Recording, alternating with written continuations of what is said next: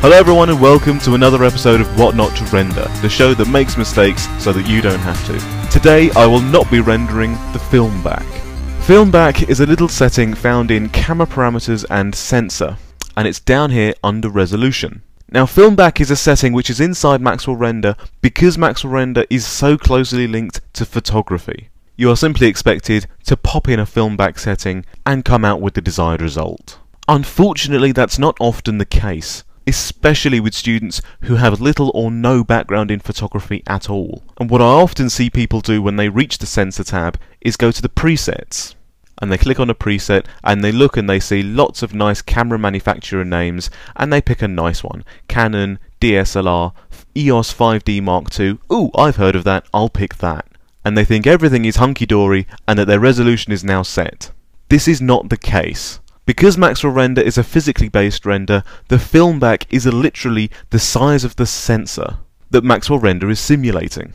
And if I increase the size of the film back with this little arrow here, there are two things you'll notice. First of all, the preset will change back to custom because it's no longer set to EOS 5D Mark II. And also, the view will change in the viewport, despite the fact that the aspect ratio of the film back is locked. So as I increase the size of the sensor effectively, you'll notice that my view appears to be zooming out. It's not really zooming out or dollying.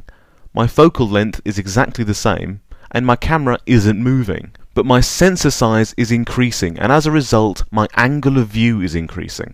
And if I turn on the fire engine, and then keep increasing the film back, you'll see the effect that this has.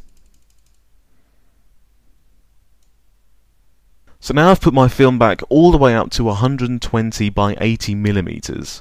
So this is now a really, really big sensor. And what you're looking at in the fire window and the viewport is the effect that you would get if you used a camera with these settings of a really massive sensor and a 50mm focal length. So what's my point here? What's the moral of the story? Well, don't allow yourself to be confused by film back. Pop it down to 36, which is the default, and don't worry about it, worry about the resolution if you're new to Maxwell Render. And speaking of resolution, my resolution is now 1920 by 1280. Why is that? It's because earlier I went to preset Canon DSLR EOS 5D Mark II. And it changed my film back, and in doing so it changed my resolution. So it's now no longer the resolution that I want. If I want to go back to the resolution I want, I've got to unlock the ratio and change my resolution back down to 1080 my film back will automatically adjust, as it always would. So that's this week's What Not to Render tip.